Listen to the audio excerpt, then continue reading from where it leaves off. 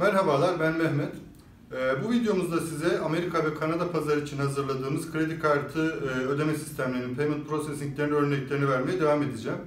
Ee, bir önceki videoda hatırlarsanız OpenEdge ile birlikte yaptığımız Pay at Counter yani kasada ödemenin örneklerini vermiştik. Bu videomuzda ise masa başında ödemenin yani Pay at Table'ın örneklerini vereceğiz. Yine OpenEdge ile birlikte hazırladığımız bir e, uygulamayı göstereceğim size. OpenEdge e, masa başında ödeme almak için Volker ismini verdiği Bluetooth'ta çalışan böyle minik cihazlar e, kullanıyor. Biz bu cihazları Samba POS'un Android e, mobil client'ıyla ve ayrı bir şekilde yaptığımız Samba POS OpenEdge Mobile Payment uygulamasıyla birlikte entegre kullanıyoruz. Bu uygulamayı Google Play üzerinden alabilirsiniz. Ekranı görmeniz için bir stand üzerine yerleştirdim tableti ben. E, şifremi yazıp Samba POS'a geldiğim zaman e, app'imi açtığımda Samba POS içerisindeki açık tüm masaları burada görebiliyorum. Burada bu masaları dilersem grid şeklinde veya tablo şeklinde görüp e, bu tablonun içerisinde ürünleri, e, açılış saatini, toplam miktarlarını görebiliyorum. E, burada arama ekranında e, herhangi bir masaya göre, entity adına göre, varlık adına göre, müşteri adına göre her türlü aramayı yapabiliyorum. Çok sayıda açık adisyon varsa eğer. Dilerseniz bir örnek alarak nasıl bir e, masa başında işlem yaptığımızı gidelim. Ee, buradaki bu masayı almak istediğimde B25 masasının ödemesini alıyorum. 41 dolar ödemesi varmış. Ee, adisyonu bölerek alabilirim. Bir miktar alını alabilirim. Sonrasını kalanını bırakabilirim. İlk denememizde adisyonun tamamını alalım. All deyip e, Pay butonuna bastığım zaman Bluetooth cihazımla e, connect olmaya çalıştı. Cihazım hazır dedi. Ve ben ilk olarak kredi kartıyla e, çip okutarak bu işlemi yapayım. Kartı taktığım anda e, uyandı ve işlem yapmaya başladı. Şu anda kartın processingini yapıyor. Kredi kartından asıl ana miktarı çektikten hemen sonra bir resipt oluşturduğunu söylüyor. Kartımı çıkarttım. Bu resipti dilersem e-mail olarak müşterime gönderebiliyorum. Müşterimden e-mail adresini alıp veya no'ya basıp geçebiliyorum. Ben e, e-mail göndermeyi seçiyorum.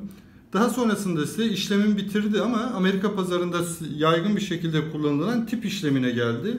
Tam bu esnada e, tableti müşteriye doğru tutarak veya müşteriye vererek yukarıdaki yüzde cinsinden hesaplanacak tiplerin veya aşağıdaki sabit e, konfigürasyon ekranında yazılmış tiplerin e, müşteriden tekrar tip olarak alınmasını sağlayabilirim.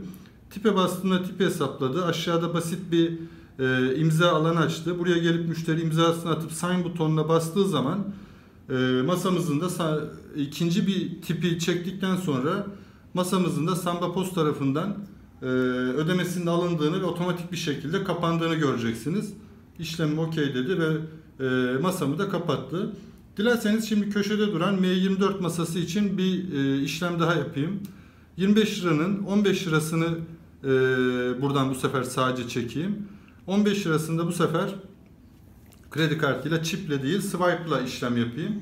Kredi kartından swipe'la işlemimi yaptığım zaman tekrar processing'e gelecek.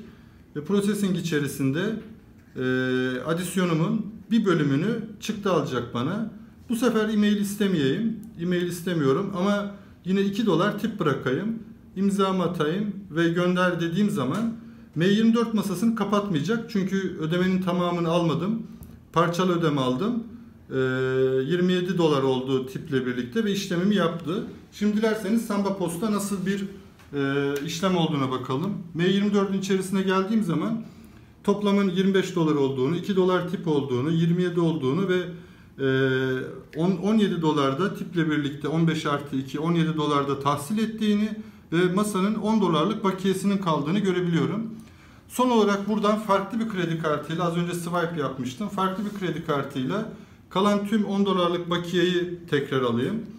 10 dolarlık bakiye için bu sefer diğer kredi kartımı kullanayım. Cihaz ready dedi. Ee, cihaza kredi kartımı taktım. Kredi kartını şu anda işliyor.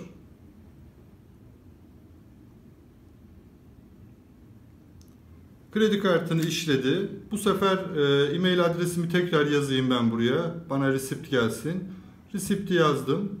E, tip bırakabilirim, tip bırakmayabilirim. Bu sefer tip bırakmadan bir işlem yapayım. İmzamı atıp sign butonuna bastığım zaman Ee, direkt bu sefer masamı kapattı. Bana okey dedi ve gördüğünüz gibi M24 masasını da Samba Post'tan kapalı hale getirdi.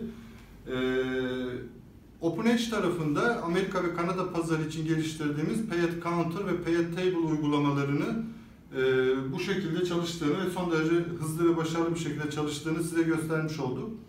Bu ve diğer tüm sorularınız için bize sambapost.com'dan iletişim bilgilerimizden ulaşabilirsiniz. İyi günler.